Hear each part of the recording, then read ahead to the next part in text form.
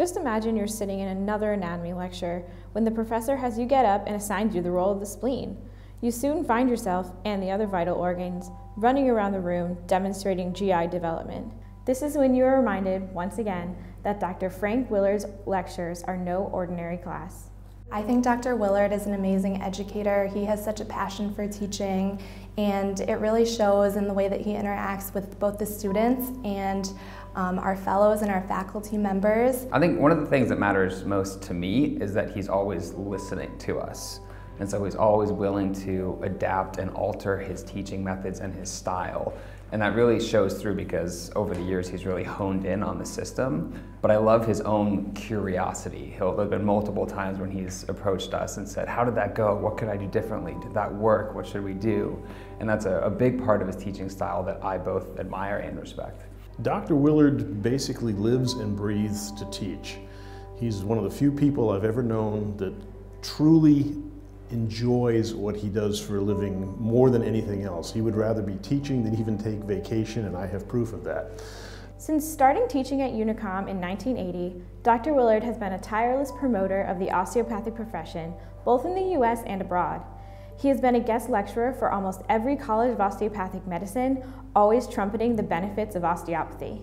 I think one of his methods that works pretty well is to sort of push us in the deep end and say, swim, but we're also here to help you swim. Getting that correlation between the very in-depth anatomy and the clinical side that they'll need for third year is really phenomenal. It's, it's something that you don't see in one person. Dr. Willard always goes above and beyond.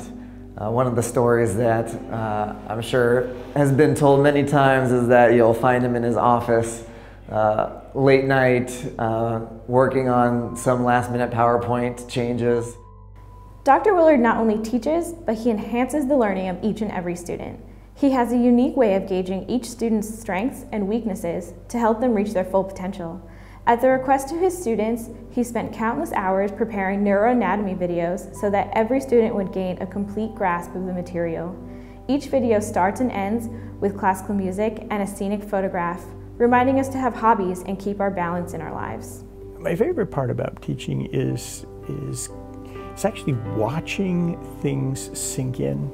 All of a sudden somebody recoils because they realize, yes, and this is how it goes together. And watching that come together in a class is actually a bit of a thrill. Just thank you so much, Dr. Willard, for all the you know work you've done with us over my last three years of medical school and now as an anatomy OMM fellow. Um, I would not know anatomy or be so excited to potentially be a surgeon one day without you as my teacher. I just want to say thank you, Dr. Willard, for inspiring and educating tons and tons of future physicians that are really going to make a huge difference in this world. And every time they think of anatomy, they're going to think of you. So thank you. Dr. Willard, I just want to thank you so much for all you have and continue to do for us. Uh, we know that you are passionate and uh, we are, ins are inspired by all that you do, and uh, we wish you all the best. Thank you.